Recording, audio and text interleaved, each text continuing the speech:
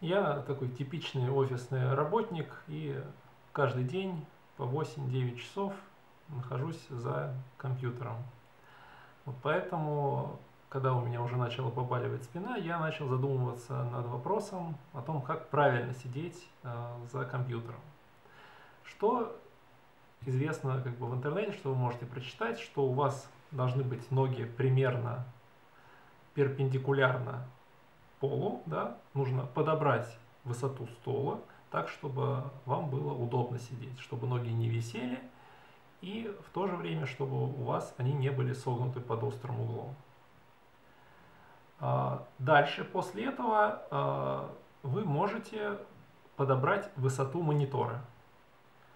А, примерно, то есть не у всех, к сожалению, мониторов есть эта функция, поэтому вы можете воспользоваться, например, какими-нибудь книгами, либо пачкой бумаги и подобрать комфортную для вас высоту монитора.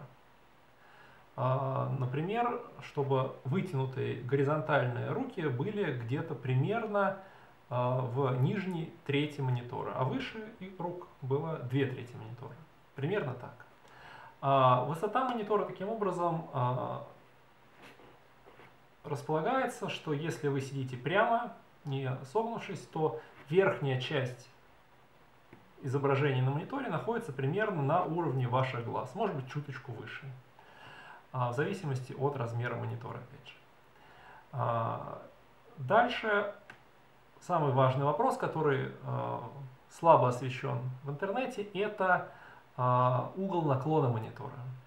Я тоже экспериментировал с этим параметром, и здесь важно наиболее комфортное положение, когда у вас перпендикуляр к естественному положению вашей головы, такому немножко расслабленному, а, перпендикуляр находится в той области, где вы смотрите на основной текст. А, как правило, вы смотрите на текст не в центре экрана, а чуть выше центра экрана. А.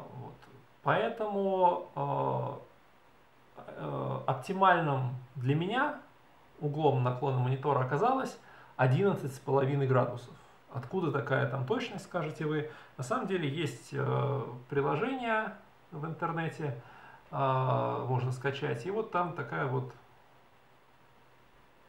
в виде э, угломера такого, и они все точно меряют. Естественно, их нужно немножко калибровать предварительно. Вот таким образом где-то так 11-12 там градусов. Опять же ориентируйтесь на ваше ощущение, чтобы вам было комфортно. Не следуйте вот этим, этим странным каким-то рекомендациям в интернете, там какие-то 30 градусов пишут бредовые, при этом иллюстрируют это картинками, на которых, если замерить угол, то он равен 20 градусам. Вот, то есть здесь э, не надо располагать монитор так, чтобы он был как книжка, либо чтобы он был вот абсолютно вот перпендикулярный, вы так вот все время сидите. Так, потому что вертикально абсолютно голову держать несколько дискомфортно, нужно ее немножечко расслабленно держать. А, а, вот. А, значит, к сожалению, у большинства, большинства столов высота не регулируется, поэтому вам нужно будет регулировать а, все высотой стула. А, дальше важно при сидении не горбиться, не вот так вот как-то жутко откидываться, а спокойно, естественно, вот слегка а, прижиматься к спинке а, стула. А, дальше важный очень Параметр, который часто пишут, это расстояние до монитора.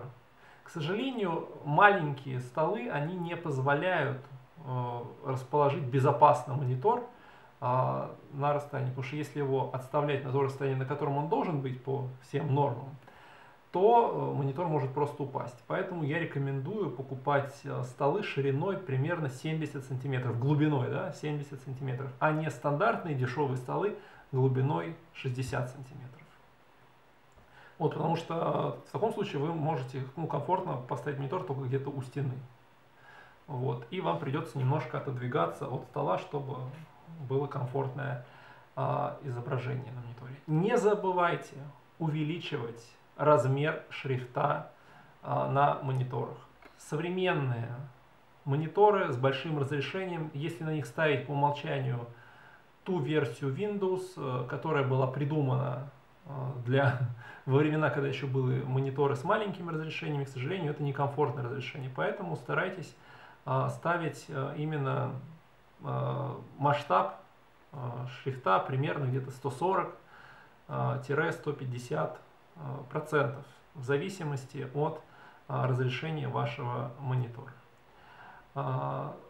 Резюмируя, значит, таким образом вышесказанное, пожалуйста, уделите внимание вашему комфорту, отрегулируйте высоту стула, затем расстояние до монитора, то есть он примерно должен быть от вас, чтобы у вас монитор пересекался вот где-то в середине пальца плоскость монитора у вас находилась на расстоянии вытянутой руки, когда вы спокойно сидите.